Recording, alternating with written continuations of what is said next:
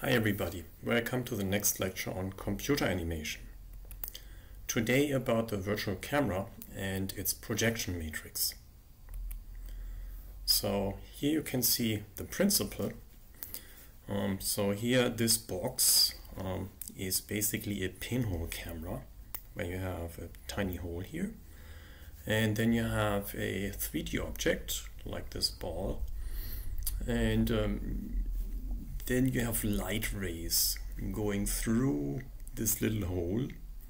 And because the light waves light uh, waves always go on straight lines and they all have to pass through this hole they um, then make a um, projection of this object onto this 2D surface the screen here. So in effect we have a mapping of 3D coordinates of the 3D object onto 2D coordinates of the image plane. So here is the image plane. And you can also do this by using a projection matrix P in computer animation. So in computer animation we, we have a virtual camera. Basically we just have the 3D object in our computer and we have to simulate this camera. So basically the simulation is then our virtual camera. Yeah, and for that homogeneous coordinates are useful, right? So homogeneous coordinates means we have an additional helper variable w, right? So here you can see an example. We have our coordinates x, y, and z. And additionally, you have this helper variable w. So here I have some fantasy numbers. And um, they are converted into 3D coordinates by just dividing by this helper variable w. So basically we normalize everything to w equals 1. And then we get these 3D coordinates. So basically w here in this case is practically a scaling factor. This can also be used for, for instance to create a camera projection matrix. So in the projection actually we, we do have this scaling when an object is further away, it appears smaller on our screen. So basically then a W uh, takes on the role of the distance from the camera. Yeah, but homogeneous coordinates can also be used for implementing a translation into a matrix. So usually we have this matrix to um, implement rotations of a 3D object but um, translations um, appear as a sum. So um, for implementing translations, this additional coordinate becomes um, useful. So here you can see it. We have our 3D coordinates of our object. And in this matrix here, those three coordinates remain unchanged because we have this diagonal with ones, with ones here. And then we have the last entry here, our w is 1 for our object. And we can see that um, the column, which belongs to this helper variable, now contains a shift, right? tx, ty, tz. So we have a translation of our point, 3D point in, in space, and basically add um, this translation vector to it. And that can be implemented with this um, matrix multiplication where basically this now includes this translation vector as the last column. Right, so the output is basically x, y, z, the original, plus then tx, ty, tz, and the w remains 1. So here you can see the result, right? You have an addition of our translation vector. And this is implemented in OpenGL with the function gl translate f. So f is for float, uh, for float arguments. That means the coordinates are float numbers. Right, so this is practically uh, practical. We just can translate an object using this function in OpenGL. Yeah, so I mentioned usually you would do rotation with this such a matrix, which you can still do. Basically, we are not using um, the last helper variable here, it's just 1 and also the corresponding column is just zeros and then uh, a 1. So all we do here is we rotate the coordinates x, y, z um, around axis, um, I guess y, no, the x-axis. So we rotate this point around the x-axis by the angle alpha. So the x-axis is unchanged and y and z is doing the rotation of the coordinates around axis x. And this is implemented in OpenGL with the function gl rotate f. Right, so you can use this function to rotate an entire object. Yeah, so this leads us to the projection matrix. The projection matrix uh, is basically doing um, uh, also using a matrix in homogeneous coordinates, as you can see here. So here we have the world coordinates, x, y, z, and then this w. And here we have some matrix entries, which we still see what it is. And out comes now just three coordinates, x, y, and w. So that means here we have a projection on our two-dimensional screen with a helper variable w. So here 3D world coordinates go into 2D screen coordinates. So P is the projection matrix, this piece here. V is the 3D world coordinates, this vector here. And lowercase v is the coordinates on the image plane of the camera. So that's this vector here. The part of the matrix that is multiplied by w is a translation. The rest is a rotation and scaling. So here this would be translation and then the rest would be rotation and also scaling. Yeah, so here's an, a simple example. So here note that x, y and w is the same point as x divided by w, y divided by w and 1. They are the same point. Um, you can also read more about it in this uh, German Wikipedia page. And this is an example for projection on the xy plane um, at z equals 1. So basically here we define a plane here to be on the coordinate z equals 1. So here we have our projection plane and here down we have x and um, perpendicular to the screen we would have y. Right. Yeah, so now look at um, this matrix and now you can see this last column here is just zeros. So basically the W here doesn't really matter. Right, it's all zeros anyway. And then here the z coordinate is now projected or mapped onto the w coordinate of our screen coordinate system. So these, these are the homogeneous coordinates of the screen and this it's w now becoming the z from the world coordinates. Right. So that means xy, the screen coordinates, become the world coordinates xy divided by coordinate z, which here is the distance to the camera. Remember here z equals 1 is the camera plane. That means the z coordinate tells us in this case the distance from the camera.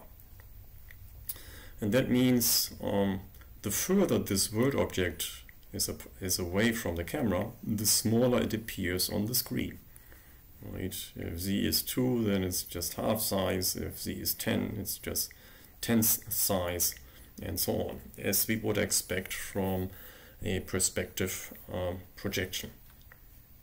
Yeah, so this is a possible camera prospect, uh, projection.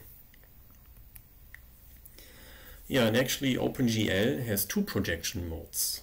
So what we just saw is um, corresponding to this perspective projection but there's also an orthogonal um, projection, GL ortho, which is basically a parallel projection which corresponds to a zoom uh, lens with infinite length. So basically it just makes a parallel projection of um, of the light rays onto the screen. So that means uh, the objects stay at the same size no matter how far they are away. Yeah, but this is actually the simpler one and that's why I want to show it first.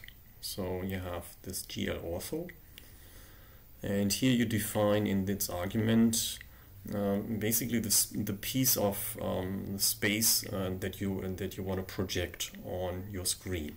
So the screen has a limited size, so you need to define what part of the 3D world you want to project. So here you define the boundaries. Here's the left boundary, the right boundary, the bottom and top boundary, and also the distance, z near and z far. So only points in these um, boundaries are projected onto our screen. Yeah, it's uh, different for perspective projection because there we have an angle under which we see the world. Here we um, assume that we have lens with a finite um, focal length. So here we define a field of view. So this is the field of view in y direction of the spatial area to be um, imaged in degrees. So basically the vertical direction in degrees plus minus so many degrees. So this is basically taking the role of top and bottom. Then we have an aspect ratio, uh, which is basically the factor of width to height. Right. So um, so this is basically taking the field of view of y and then you multiply with this aspect ratio and then you have the field of view in uh, the x direction. So for instance, um, 16 to 9 uh, would be um, quite common. Then you still have this z near and z far, right, where you define uh, in which range, in which distance range you want to do the projection. Yeah, so first uh, to the orthogonal, the simpler one. So here we have left, right, bottom, top, z near, z far. Mm. Yeah, so using this orthogonal projection, we take um, this range of uh, coordinates from left to right, bottom to top, and near to far, and scale and shift it to a cube of unit size. So we start with a large world cube and then we um, scale and shift it to a unit cube around the coordinate origin. So here we basically scale and shift it such that this uh, large uh, cube now appears around x between minus 1 and 1, y between minus 1 and 1, and z between minus 1 and 1 right?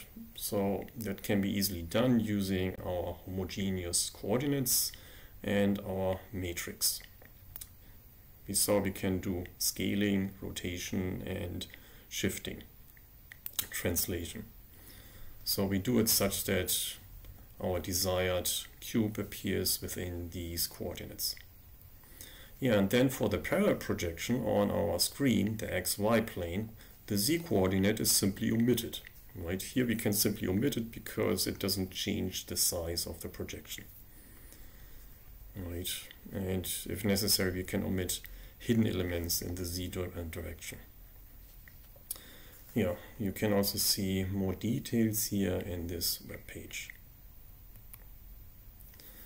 Here you can see the resulting projection matrix for the 2D render mode. for GL ortho.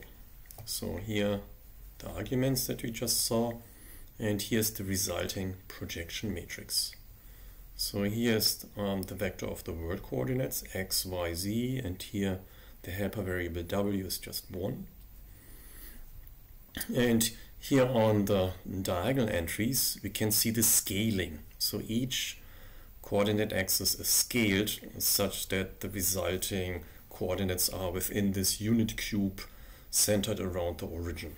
So here you can see it's divided by right minus left, here top minus bottom, and here far minus near. Right, and this um, factor 2 makes sure that we have um, the scaling from minus 1 to 1, which is a distance of 2. Yeah. Here we have the translation vector. So this makes sure that um, this cube is now centered around the coordinate origin. So here we do the scaling um, such that the cube has uh, edge length of 2 and here we do the shifting such that it appears centered around um, the origin of our coordinate system. Yeah, and often the z coordinate is assumed with reverse sign, reversed sign compared to z near and z far because the projection is uh, assumed to be located behind the camera lens. So that's sometimes a little bit tricky and you need to keep in mind if you get a strange result, um, maybe you should try changing the sign of the z coordinate. Yeah, so then this, uh, this z coordinate is simply dropped in the next step. Uh, and we can test it by using a point in the left lower near corner with x equals L, y equal for lower, y equals b for bottom, and z equals minus n for near. Right, so here you can see the sign change. And just um, plug it into our um, world coordinate vector and see what it does. So we can see it here as this little Python example. So here we assume right is 10, left is minus 10. These are the coordinates. T top is 5, bottom is minus 5, near is 5, far is 15. Right, so it's um, in front of um, our camera at these distances. So here's then our projection matrix. So here just entered uh, what we just saw in the previous uh, matrix. So here 2 divided by r minus l, then two zeros, and then the last entry is part of our translation vector here. Then here's the next row. Here in the middle we have 2 divided by t minus b, then another 0. Here the translation uh, vector and then here, the third row, we have minus 2 divided by f minus n, far minus near. Here, translation. And here, this was for the helper variable w. This is then here our test um, point in 3D space, lb minus n 1.0. So here we have this sign change. And then we take a look at the result and this is what we get right? We have P is our um, projection matrix. Point 1 point 2 minus point 2 here's our translation. Here's our world vector with the coordinates. And here you can see the projected um, point still having three dimensions x, y, and z. And remember in the last step, z was simply dropped. So what's left is then just minus 1 and minus 1. So we can actually easily try it using Python. So let me try that here. So I'm opening a terminal window. Here's a terminal window. Make it a little bit larger here in the font and I can open Python. So here I'm typing Python 3. then I'm getting into the interactive mode and I'm copying this part here. Copy and paste. Yeah, that worked. And I guess I have to change um, the quotation marks here because this does, they don't look like the correct quotation marks. Yeah, right, exactly. So I have to change them. This is always kind of tricky when you copy from a um, text processing document that there are different quotation marks. So now that works. So here now can see the results. So what do we have? Yeah, V is still missing.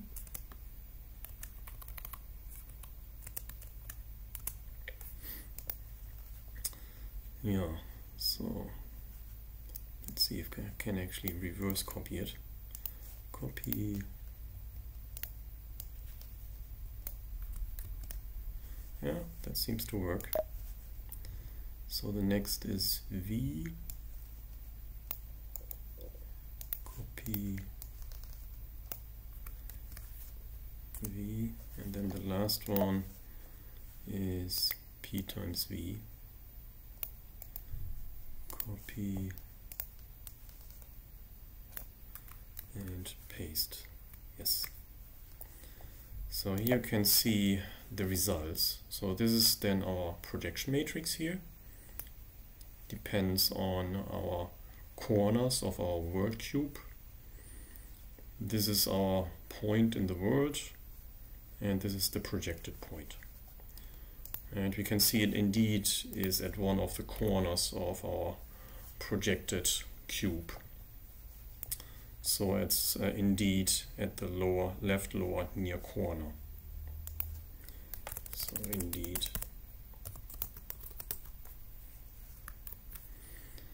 Right. So that works. So that shows that our formula, at least um, in, for this case, it worked. So this is actually also a good test for of something. If if you if you implement something and you try it, then if it's wrong, then usually just at the first trial you will notice that something's wrong. Quite rarely it happens that you try it and it works, and in, in other cases it doesn't work. So having this example is usually also a good test for your software or for your algorithm. Yeah, so in summary, the orthogonal projection maps a world cube to a unit cube and then omits the z coordinate. Right. So that leads us to the perspective projection. And for that we have the function GLU uh, perspective. And um, yeah, here you can see the arguments again. Field of view, aspect ratio, z near, z far. And this is kind of um, a truncated pyramid on its side, right? It's not a cube because here we have angles uh, defined by field of view. So this angle is vertically and horizontally. So this is more like a pyramid on its side. And um, it's truncated because we have z near and z far. So it, uh, we don't reach the peak of the pyramid, but uh, we have stopped it with z near. And this um, pyramid on its side is, is mapped then on the unit cube again, right? So the mapping is in this to the same range as for the orthogonal projection. And afterwards, again, the z coordinate is emitted uh, for the projection on the xy plane. And you can also read more about it in this link here. Yeah, the aspect ratio is width divided by height, field of view, is um, the angle along the y-axis and z near and z far uh, define the distance from the camera and these values are positive they must be positive right so let me go into the slide mode yeah so this is the function that um, OpenGL provide, provides for this virtual camera with perspective projection and remember, perspective projection is actually the more realistic one because in reality we have a finite focal length, which means um, objects in the distance appear smaller. And this is only uh, for the perspective projection. Yeah, so this is the corresponding perspective projection matrix. So here you can see the world coordinate vector and here the corresponding matrix. And here you can see the f, and the f is the cotangent of field of view, this angle, divided by 2. So for instance, if we have a field of view of 90 degrees, that means 45 up and 45 degrees down. So that's why we look at the 45 degrees here, field of view divided by 2. So this is like the up angle. And the cotangent is uh, in a triangle, this is the adjacent side uh, divided by the opposite side. And here you can see this first entry on the diagonal here uh, has f divided by the aspect ratio. The second has the f. And both affect x and y coordinates and they make sure that the world coordinates x and y are scaled into our unit cube. Right? So same principle here. Uh, just now for the ortho for the perspective projection. These entries here for the z are um, also for the mapping and shifting of the z coordinate into the unit cube. And finally we also have the z here being mapped on the w of our unit cube.